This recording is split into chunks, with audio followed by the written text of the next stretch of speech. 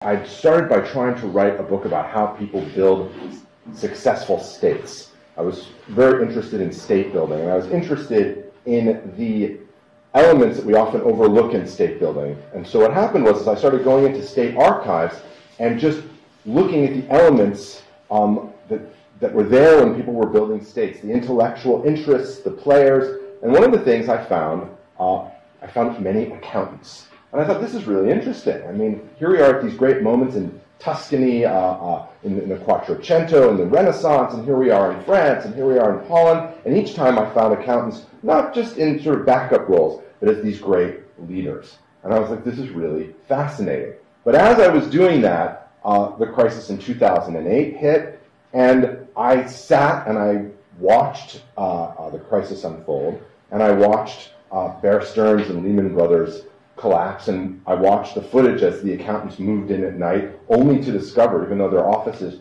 were just across the street, uh, that all the CDOs and their, uh, uh, their, their bundles, their mortgage bundles, were worthless. And I said, this is it. We're going to have this amazing discussion about accounting. And I said, this is, we're going to talk about why it works, why it doesn't work. They're going to hold up the accounts, and we're going to discuss the accounts because that's what happened in the 18th century uh, in Will's work uh, in the bubble, it happened in uh, France later, before the revolution, and um, it never happened.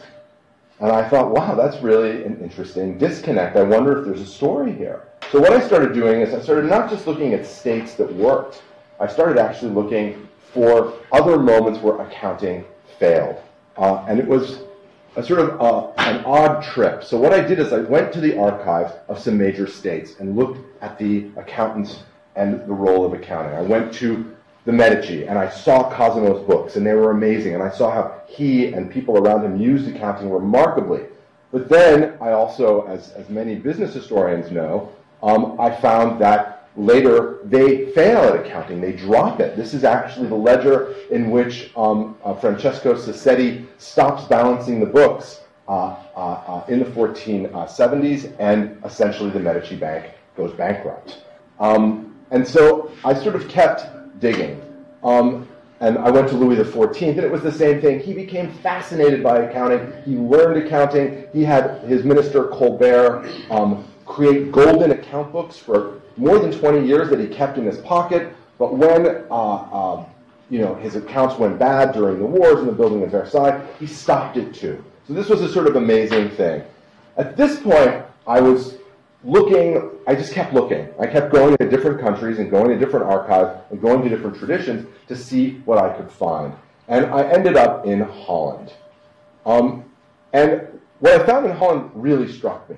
Because when I went there to start looking for the history of accounting and doing some work in the archives, I also ended up going to museums and also remembering paintings that I had known. And I discovered that there was a huge accounting genre of paintings in, uh, in uh, uh, the, the Flemish Dutch tradition. This is an, an, early painting, actually, of the Medici branch uh, uh, director, Tommaso Portinari, who gives bad loans and keeps bad books. Um, he actually painted this before he, he had this painted, he paid for it to be painted, before he actually went bust in, in the Bruges branch.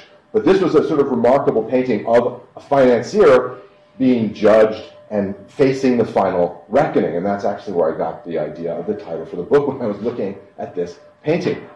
We know that Holland declines in the 18th century, and the Dutch will also tell you that, is that they start painting more of those paintings again, but at this point they're all cheating each other, and no one trusts anybody, and the bookkeeping is not as good as it used to be. In fact, England emerges as the center of, of, of bookkeeping by the late uh, at the beginning of the 18th century, there are about 30 what are called writing schools, which are schools where you learn to write well, and you, you learn to write well to keep accounts. So you also learn double entry accounting. By the end of the 18th century, Britain has a thousand of these schools.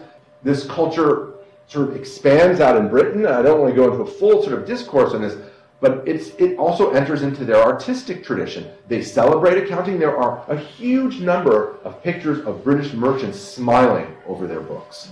We have uh, many other writers of the 18th century writing about accounting. There are songs about accounting. There are poems about accounting. It is very much in people's mind. I'm leaping over years and years and years of, of, of, accounting history and the history of accountability, but I do want to bring us up to the 20th century and our own issues. Um, still in the 1960s, um, Arthur and Young could show this brochure, sort of Mad Men brochure, right, of this is a good job, where this guy is clearly scoping out uh, the possibilities that his job offers him as an accountant, and there's a little bit of glamour involved in this.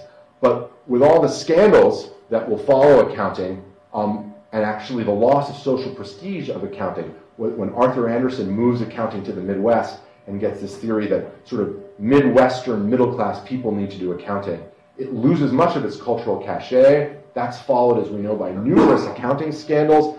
And now accountants are out of view. We don't see them. We don't talk about them. The modern image of an accountant is kind of that. That's the stock photo of an accountant. It's not a great image, okay? Um, and in fact, accountants, there are others, I mean, there are other pictures of just, that are in the accounting schools, are just accountants in the dark suits looking very, very sort of grim, looking down. But there's none of this great art surrounding accountants. There's none of this cultural uh, uh, awareness. That seems to me to be a huge problem. We don't talk about accountants. In fact, we feel uncomfortable talking about accountants. We have 800,000 accountants in the big four accounting firms. All of our lives, in one way or another, very quickly in one credit card transaction tonight, we'll go through one of those big four firms. Somehow through, at some point through well, a computer, but eventually through an accountant. And yet these people remain invisible. We had this massive crisis. No one talked about the accountants. The balance sheets weren't brought out in public and discussed the way they were in the 18th century. In many ways, we've gone backwards. And that has inspired this book, and that's why I wrote it. Thank you very much.